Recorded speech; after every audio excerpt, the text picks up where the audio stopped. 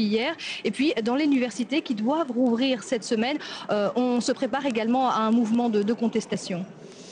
Pauline Simonet en direct de Tunis qui reste, vous l'avez entendu, mobilisée. Merci Pauline. La révolution tunisienne qui galvanise l'opposition